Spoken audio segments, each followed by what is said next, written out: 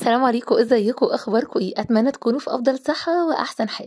فيديو جديد النهارده وزي ما أنتم شايفين السيدة بتاعت النهارده عندها شوية أفكار وكمان مشتريات وطرق تنظيم وترتيب ما أقولكوش بقى.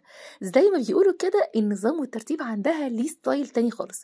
وشوية كمان بقى المنظمات اللي هتبهرنا بيهم خلال الفيديو مع كام فكرة جديدة ممكن تاخدك في مكان تاني خالص. شكل السرير بتاعها زي ما أنتم شايفين المرتبة عالية شوية فقدرت تستغل الفكرة اللي زي دي لأن زي ما إحنا عارفين طبعا دلوقتي معظم الملايات ممكن تكون جاية على قد شكل السرير بالظبط. وبالفعل كده جابت إضافة بالقماش الأبيض زي ما شفنا وبدأت تظبط بيها الملاية عشان تديها شكل جمالي مع شوية كمان الديكورات اللي موجودة في الغرفة المكان بقى مختلف جدا. كشكل و style وذوق عام الموضوع كمان بالفعل مختلف قوي. تعالوا نشوف هنا كمان دلوقتي مع بعض ال box بتاع المنظمات اللي قدامنا ده. وإزاي كمان تقدري تستغلي الفكرة وتوصلي كمان لحاجة هنا ممكن تكون شيك ومختلفة جدا. تعالوا نشوف كمان دلوقتي كده فكرة الانبهار هنا وجابت كده حاجة زي حامل ترفع بيه السرير وتبدأ تحط السجاد بالصورة والفكرة اللي هي حباها.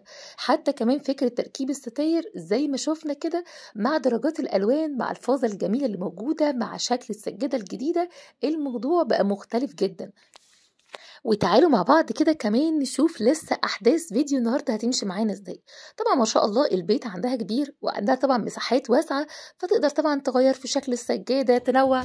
فطبعا الاختلاف ده بيظهر عندها بصورة كويسة جدا ووسط ده كله بتحاول طبعا تبهرنا بكل أفكارها وروتيناتها وطريقة تنظيمها وترتيبها في البيت واستعدادها حتى لتوضيب كل حاجة. حتى رخامه المطبخ عندها هنا جابت الجهاز بتاع البخار وبدأت تنظف معانا دواليب المطبخ.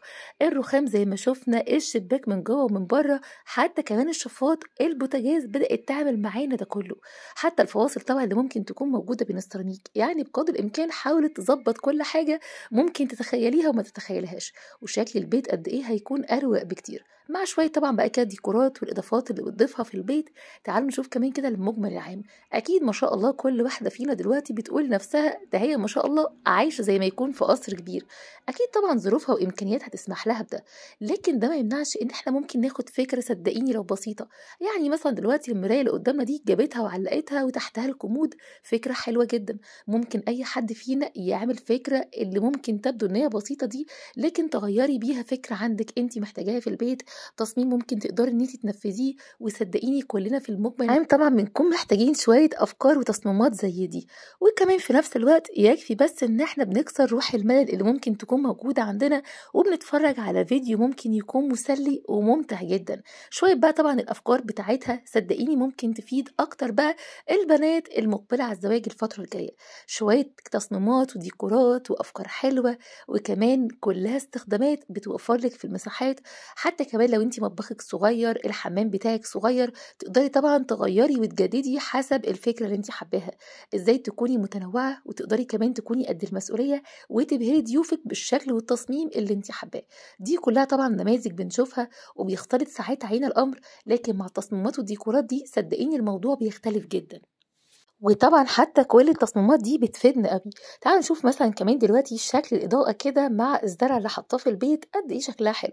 حتى طرق التنظيف بتاعتها في السجاد الكبير المراتب كمان اللي ممكن تكون حجمها ما شاء الله وسمكها عالي شوية وكمان الموكيت اللي على الأرض يعني كل ده بتعمل لها كده دورة تنظيف هايلة قوي شوية الكربوناتو وزي ما شفنا كده بتخلي ريحة وتعطير كمان المراتب قوية جدا. شكل السجاد وطريقة تغييرها في كل فترة والتانية لأن طبعا التنوع زي ما إحنا عارفين بيفرق جدا في حياة أي واحدة فينا والتنظيم كمان دايما بينقلنا لمكان تاني خالص. إزاي تكوني قد المسؤولية وشكل البيت يتغير معاكي؟ إزاي كمان تكوني شاطرة جدا وتحاولي تخلي البيت يختلف بالنسبة لك؟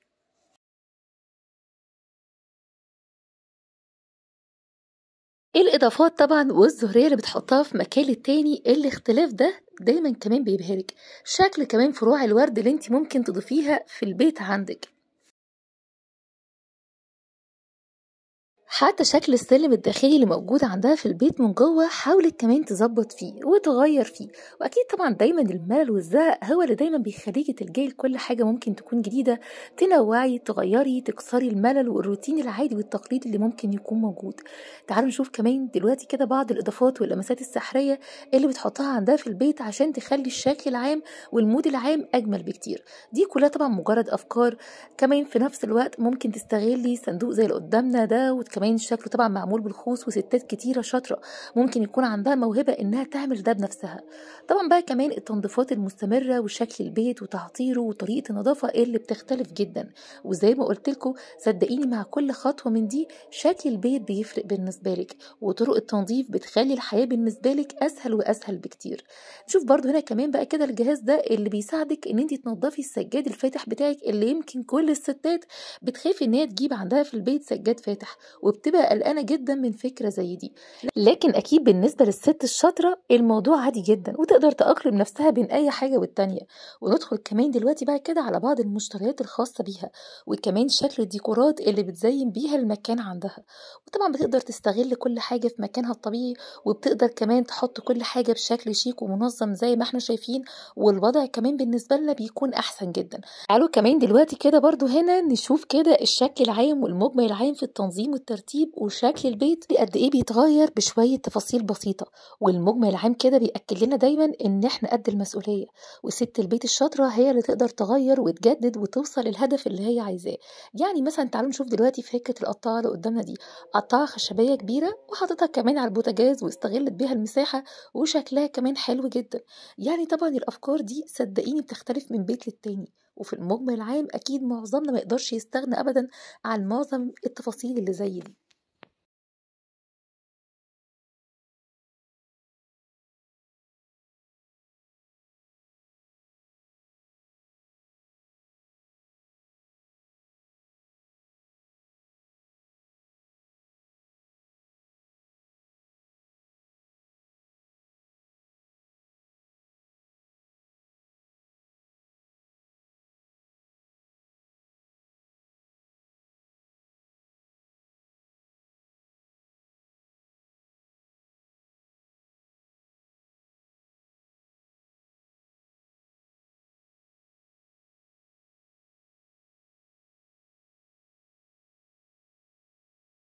تعالوا كمان نشوف هنا دلوقتي مع بعض كده الديكور اللي قدامنا ده وشوية كمان كده الاستندات والتنظيم بتاعهم والترتيب قد إيه هيغير لك المجمل العام وشكل المكان بيختلف قوي فكرة بسيطة وديكور مختلف لكن كمان الشكل قد إيه بيكون متنوع ويبهرك جدا.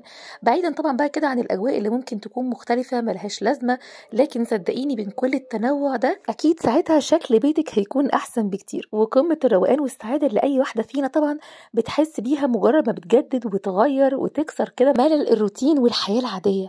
مع المواقف اللي زي دي الموضوع بالنسبة لنا بيكون أحسن بكتير وشكل البيت قد إيه بيفرق قوي بالنسبة لنا.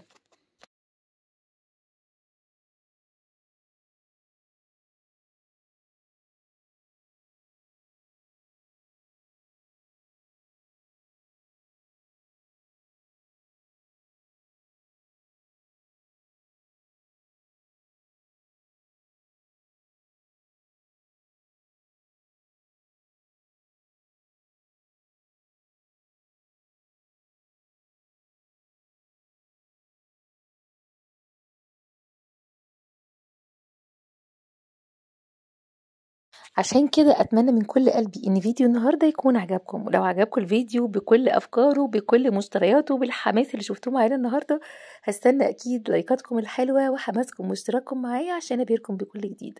وأشوفكم إن شاء الله على خير في الفيديوهات الجاية ومع السلامة.